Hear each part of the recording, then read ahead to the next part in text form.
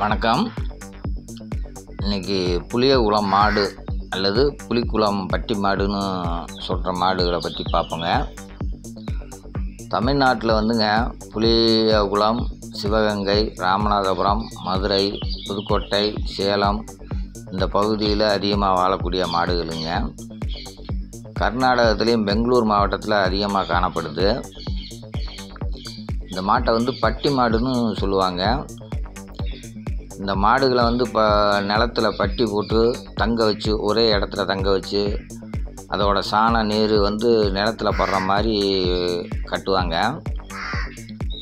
இந்த மாதிரி கட்டுறதுனால மூன்று ஆண்டுகளுக்கு உரம் தேவையில்லைங்கிற கருத்து இந்த மாடுட்டோட சாணங்களுக்கு இருக்கிறதா நம்பப்படுகிறது. இந்த மாடுகள் வந்து சுறுசுறுப்பாக அதிகமாக இருக்குங்க. வண்டி இழுக்கவும் நல்லா பயன்படும். இந்த மாடுகள் வந்து ஜல்லிக்கட்டுக்கு அதிகமாக பயன்படுத்தப்படுகிறதுங்க. இந்த மாடுகள் வந்து பால் வந்து கம்மியான பால் தான் கொடுக்கும். ஆனால் ஆரோக்கியம் அதிகம்.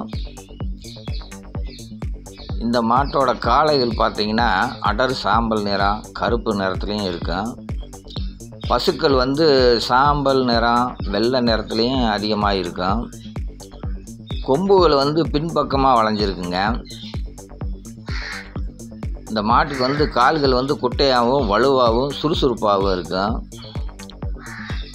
நெத்தியில் வந்து நெத்தி வால் முட்டு பகுதியில் வெள்ளை அடையாளங்கள் அதிகமாக காணப்படுங்க. தோல் இறுக்கமாக இருக்கும். புளியங்குளம் மாடுகள் வந்து தலை வந்து அகலமாக இருக்குங்க முகம் சிறியதாக இருக்கும் காதுகள் வந்து சின்ன காதாக இருந்தாலும் கூர்மையான காதுகளுங்க. இதுதான் அந்த புளியங்குளம் மாட்டோட சிறப்புகள்ங்க.